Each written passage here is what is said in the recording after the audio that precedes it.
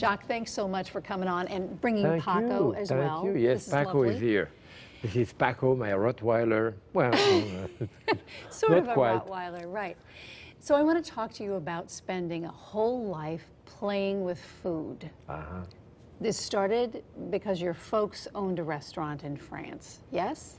Yes, I mean, you know, it started even before during the war, but certainly from age five or six, I don't remember anything else but uh, cooking. My parents had a restaurant, and when I left to go into apprenticeship at age 13, which was in 1949, I left a restaurant where my mother was the chef. And actually, I had two aunts who had restaurant. I had two cousins, female who had restaurant. I think we had eight restaurants I can think of in the family uh, through the year, and I am the first male going into that business in it. So, so much for, you know, they always think the French chef is going to be a male. no. so that's all you did in your family was cook food. Do you remember food, yes. the, the first time you decided, I'm going to make a career out of this? Not really, you know. Uh, the first time I remember during the war, I mean, actually being in a farm and uh, getting the milk from the farmer and thinking, starting thinking in terms of food in another way, you know, food as comfort and as something that you have somewhere. Uh, but uh, I had blinders, you know. I mean, uh, when I was a kid, we didn't have television or the internet or not even the movie, not even the telephone. So, So it was uh, on it was on the farm, it was in your house. Right. My father was a cabinet maker. My mother had a restaurant. So, you know, I had kind of blinder. I went in that direction. I didn't really think that I could become, I I don't know, a lawyer, an architect, or something like this, you know. So I went into that direction. And I have to say that uh, I've been very gratified in life. It's uh, probably better than being a doctor. I don't have to tell you you have cancer, you're going to die. Right. And when you see me, you smile because I bring happiness to people, you know. You cooked for Charles de Gaulle. Yes. Want to talk about that a little? What was that like? Well- was he a picky eater? Uh, well, usually you deal with the lady of the house, but from 56 to 59, yes, I was with actually three presidents in France. The government were changing at a rapid pace. It was under the Fourth Republic. And uh, when de Gaulle came, it was uh, uh, beginning of the 1958, but it was another world of cooking. Paco, what's going on? He's your now? protector. yeah, he's my protector. So uh, it was another world. I mean, at that time, the, the chef was really at the bottom of the social scale. So it wasn't, uh, you know, the chefs no, as we know today. absolutely not, because uh, any good mother would have wanted their child to marry an architect or lawyer, certainly not a cook, you know. But now we are genius. I don't know what Of happened. course. But, uh, and have your own shows and everything else. exactly. But at that point, no, you were in the kitchen. I mean, I served, I was young, I was 21 years old, and chef at that time there, we were just two, and the other chef with me, plus an assistant, uh, is actually my dearest friend, and he lives upstate New York here. He followed me when I came to America half a century ago. But uh, we served at that time like Eisenhower, Nehru, Tito, Macmillan were the head of state. No one ever came. First, no one would call you to go into the dining room and get kudo. That did not exist, period. But uh, and no one ever came. If they came to the kitchen, it was because something was wrong and they came to complain, not something else. Nino, what's your problem? He's definitely protecting whatever's going on Okay, so I'm going to put you on the floor. You go, you go play. Bye, Paco. No, come on, Nino. Gloria, call him. Call him. Paco, stop it. Here, baby. Okay. Yes. Come here, baby. Come here. You've never done that before. Well, that's because Paco, he's just call, uh, call him, Gloria. Yeah. Paco. You okay? No. Okay. Tell Sorry. me. No, that, I'm not at sorry. all. Not at all. So, You can always edit it, right? yes, of course. Um, so, cooking for Charles de Gaulle, and you're 21 years old, and it, is it? Are you in the palace? What What happens?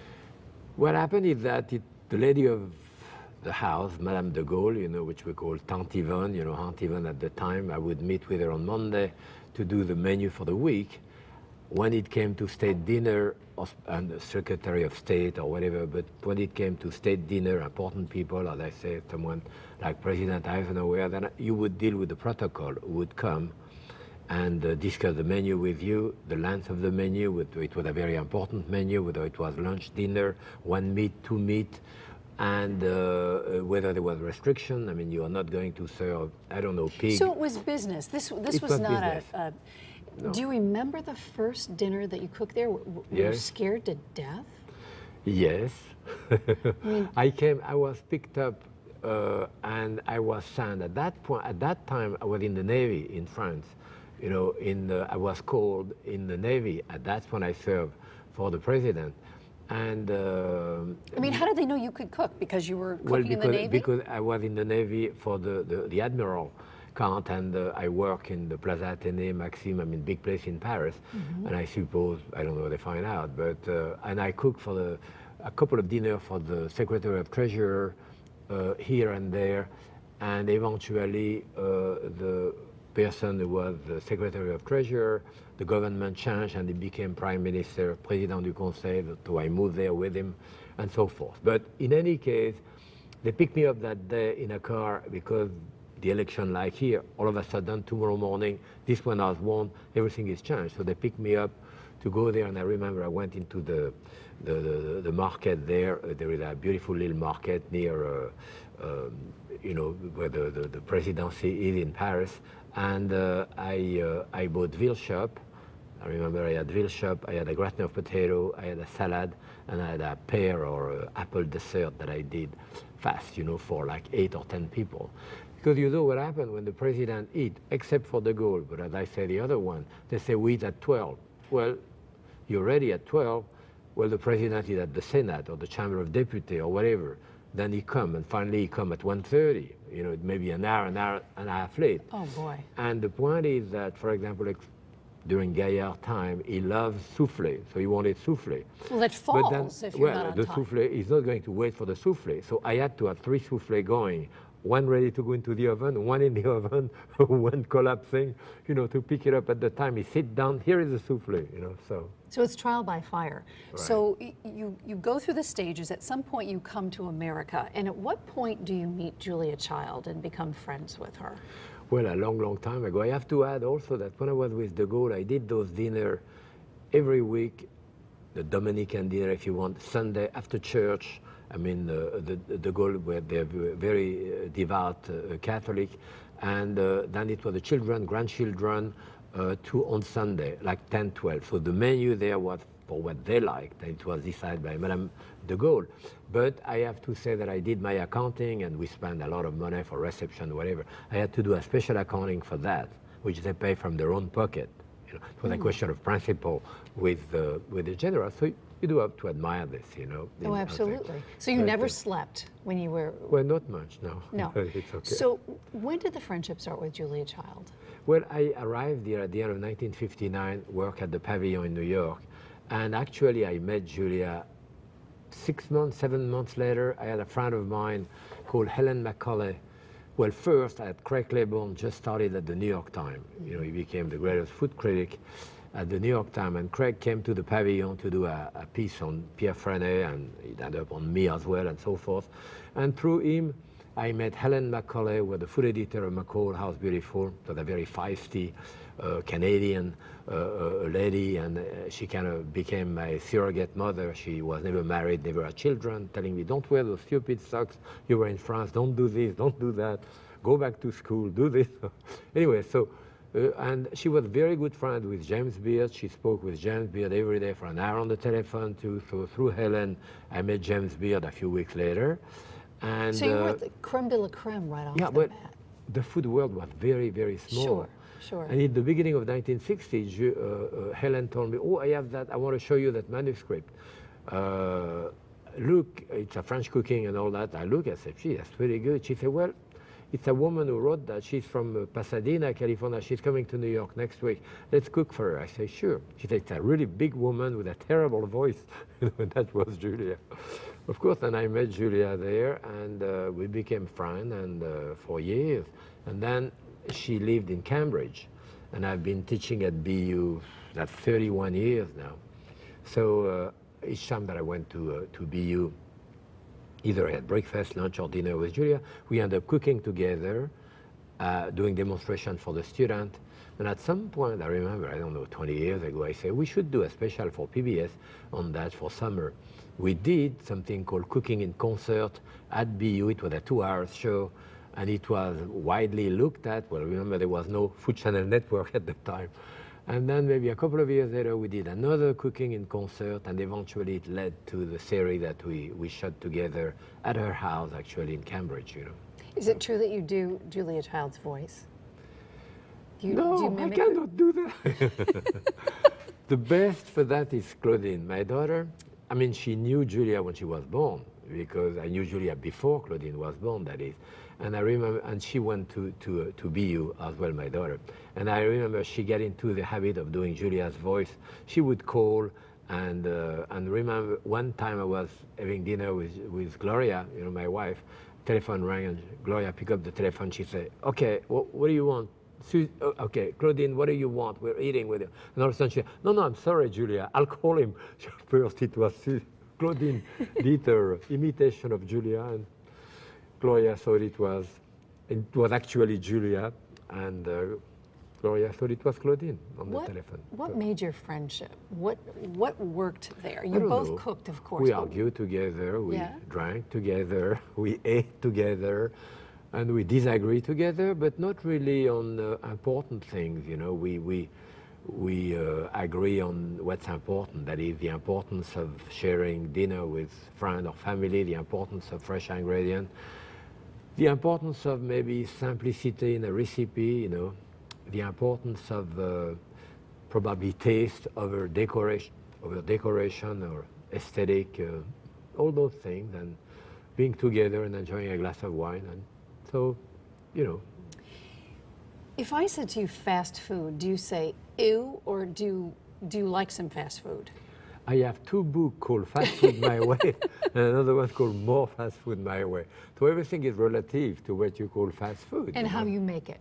And how you make it. But your making fast food is not a hot dog, although you said to me you like hot dogs. I love hot dog, yes. How absolutely. do you like a hot dog? Well, you know, I work with the students at BU even now, and I tell them, because they all want to do, you know, a big cage in caramel and something very special, you know, unusual with the weirdest ingredient that no one even know what they are. And I thought, okay, let's work in depth rather than, uh, uh, and let's do, we, de, we do a, a, BLT sandwich today and a, and a, and a hot dog and, uh, uh, you know, a lobster roll. And they say, are you kidding? Of course I'm kidding. But the point is that you can always do a better hot dog, a better anything. There is always a better dog, a better roll, a better way of roasting it, a better mustard, a better something. I mean, I have my friend Jean-Claude, who as I say work for me, with me, with uh, De Gaulle, he live upstate New York, come to see me. And if it's summer, he say, let's have a lobster roll at the Clam Shackle, uh, the Clam Castle. Which is in Madison. Yeah, the Clam yes. Castle on Madison. I mean, it's a little joint on the Boston Post Road, but the guy does the lobster roll with the Philadelphia roll, as we did at Howard Johnson. We started at Howard Johnson, mm -hmm. remember our work. Browning it nicely in butter on each side, the open it, fill it up with fresh lobster, just with butter, salt, pepper on top of it. And even though my friend is a great chef too, he will remember that. He said, let's go have a lobster roll. See, you remember that if you have a perfectly, perfectly cooked chicken or a great hamburger or hot dog, you remember that. And you go, it doesn't have to be complicated, you know. What brought you to Connecticut? Why did you raise your daughter in Madison, Connecticut? Well, to tell you the truth, I lived in New York since I came, and I met my wife upstate New York, skiing actually. And uh, we uh, had that apartment in New York, and we bought a house upstate New York that I redone. At some point in the 70s, I had a very, very bad accident. I had 14 fracture in the car, car accident, accident, broke my back, my two hip, leg up. I wasn't supposed to live, I wasn't supposed to walk again, etc., etc. Eventually, I did. I still have a drop foot out of this, but uh, we decided to move closer to New York, to be on the coast, as the winter is less taxing than upstate New York. So it was basically the coast of, of Connecticut or the coast of Jersey. And even though Gloria was raised in New Jersey, she said, we go to Connecticut, we had friends, we came here. And eventually, it was a pretty arbitrary decision. You know, we came and, uh, and we've been here 37 years, 38 years. So Connecticut gets to, to call you a native son almost, even though you were born in France. Well, even though, but my, I've been working on my accent. I think it's purely Connecticut now, don't you think so? I mean, it's not. Uh, very Yankee Yeah, of you. very Yankee, yes. So food is art and music is art. Right. And that brings me to you drawing little pictures and now you are Right. Doing art and you have a show underway right now. We're taping uh, almost December, but it's it's underway in Essex. Essex, Why did you decide to take the next step and put your drawings of roosters and flowers and such? I don't think it's the next step. I mean, I've been drawing or painting for over 40 years. Uh, yeah, f- yeah, more than 40 years, 50 years. And, uh, but I am a good cook, I think, at the risk of sounding uh, presumptuous. Well, it says but, uh, world-renowned by oh, yeah, your yeah, name. right, okay. I am not Legend. A, I'm not a good artist. I mean, I'm not a great artist. The point is that, first, I'm not a technician in panning. in cooking, you know, and I'm probably more known for that type of thing, which are the technique that is manipulation, working with your hand, thing that you have to repeat, repeat, repeat, repeat, repeat ad nauseam, so that it becomes so much part of yourself that now you can afford to forget it. You know, now I can cook on television and look at you and think in terms of. Uh, combination of ingredient, color, texture. I don't have to worry about my hand shopping too, because it's so much part of myself that it's part of my DNA, if you want. So, other professional chefs, you get to go through that thing so that you can afford, as I said, to forget it, so that they become part of yourself. In anything you do, as a painter as well. And I could have spent 10 years or more or less or more in a studio, learn the law of perspective and learn how to mix yellow and blue to do green or what I can do with my thumb or this and that, to learn much more of the intermediate or different primary color too, to really know the media better. But I didn't. So I am a lousy technician when I pan. So I start panning and it comes out uh, pretty bad. I throw it out, I pan over, whatever. Occasionally it comes out not bad, so wow, I'm the first one surprised, so I keep it. but uh, I don't have the control uh, in panning that I would have in cooking. In cooking, as I say, at the risk of sounding presumptuous, it would be hard for me to do something uneatable. I would at least to retrieve it to the level at which it will be eatable, because after all of those years of practice, you know your trade well enough. But uh, because I am a technician first, and I believe that whether you're a cabinet maker or a jeweler or a surgeon for that matter, working with your hand, you first have to be a craftsman and know your trade. Now, if you're only a craftsman, it doesn't take you very far. Although I know many restaurants where the chef is a good craftsman and a relatively lousy cook, the food is okay, but never go toward a certain level. But if you are, you know, Thomas Keller in New York or Jean-Georges or Daniel or great chef, you are first a technician, then you have talent. And now that you have talent in your hand, because of that technique, you can take that talent somewhere. And if you put a little bit of love into it, then it's even better.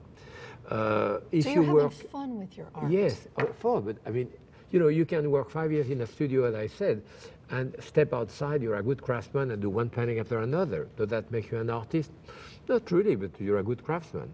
Now, if you happen to have talent, however, then if you don't have anything in your hand as a craftsman to show it, it's hard to, uh, to do something with it, you know, so you need both. What do you think of all these cooking shows on TV?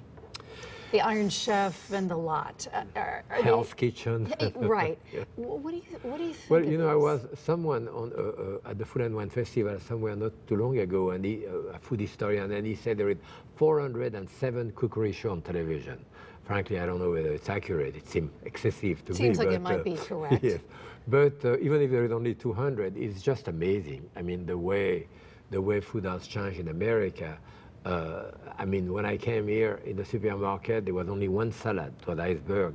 There was no leek, no shallot, none of the oriental vegetable, different type of oil, vinegar. Look at the supermarket. I've never been as beautiful today as uh, in the last 50 years for me. And then people say no one cook anymore. Well, if no one cook, I mean, what do they do with the stuff at the end of the week? Someone must be cooking somewhere. But it's a different way of cooking than we used to. And, you know, cookery show, I do things, I cook. Basically, that's what I do. That's still what I do.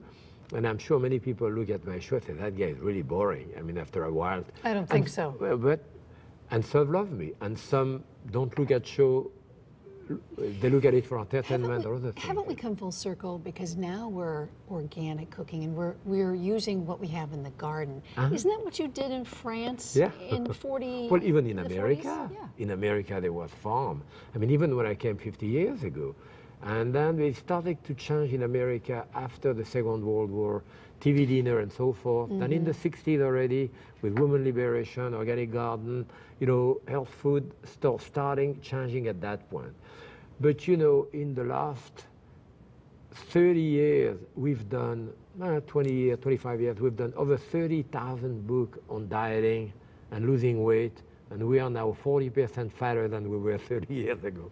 So that doesn't seem to work too well. But then we are going back to local food, we're going back to farmer, we're going back to uh, uh, organic food, and all of that is great.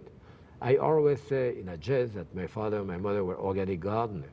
Well, the word organic did not exist to start with, and uh, but chemical fertilizer did not exist, and fungicide, insecticide, pesticide, all that did not exist. So everyone was an organic farmer, I mean, 50, 60 years ago. So we're going back to this, but we always going back to this. We always do things with the extreme here. So, and sometimes now that is the extreme. I've been to restaurants where, you know, they introduce you the carrot. They say that carrot name is Sarah, and she was born on the 7th of May. Give me a break. right, Give me the carrot.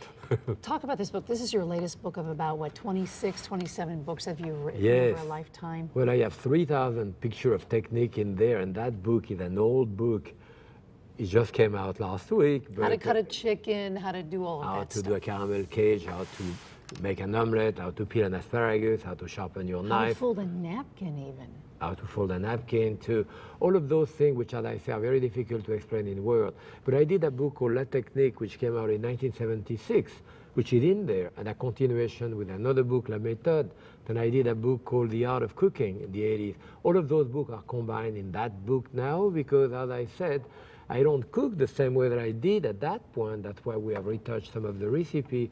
But the technique themselves, which is what I'm interested in doing here, uh, are the same.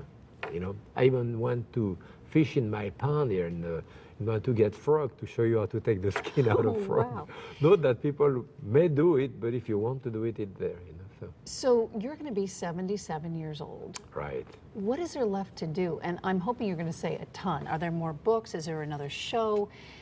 I would love to learn how to play the piano. Yeah, I probably will never do You know, but somebody else said that to me. Yeah. I like the Why piano. the piano? I don't know. I I love the piano to start with. I love classical music, but you know, in the kitchen, the stove we call the piano. When you work the piano, you work the stove. Interesting. Is that a French term or is Yes, that? yeah, it's a French term, you know, working the piano, it's working the stove. But there is always more things to do, you know. I, uh, I hope next year to tape another series. I've done 13 series of 26 shows with KQED, uh, the PBS station in San Francisco that I tape my show. And uh, with my granddaughter, Shorey, and uh, my daughter, Claudine, I've done several series with her, and it's always great to cook with the family. I would want to cook with my wife, Gloria, but she absolutely hates the television and the camera, so she will never come with Does me. she cook with you, by the way? Oh, yeah, yeah, we cook. 47 years of marriage, so we've cooked together. I mean, yes, for 37 years. But usually, when she cook in the kitchen and I come in, it's not like she tell me, darling, what do you think? Usually she'll tell me, don't touch anything. You know, so, uh, Is she your best critic? I mean, did, oh, yes, she, she's a very tell good you, critic. that, I don't yeah, like my that. wife would be a very good critic, yes, and the kids are the best critic. Mm-hmm. Say, yeah, this is disgusting, or whatever. Biggest flop you ever had cooking? See, the beauty of being a professional chef, I could call cooking the art of recovery or the art of adjustment or the art of compensation. You always kind of retrieve it to do something with it.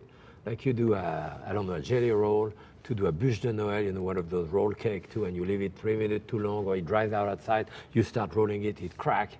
Or you cut it into strip, you pack it up, you put the cream in between, you do something else, still do something with it. You just eh? kind of glue it together differently. Yeah, differently. right, one way or the other. Oh, why didn't I know that? Jacques, thanks so much for coming on. Thank you. and Thank you sharing very your much life for, with us. for having me here. I didn't let you say anything. I'm sorry. This is uh, about you. well, it's Thanks about very you. much. You did a great job. Thank you. Thank you.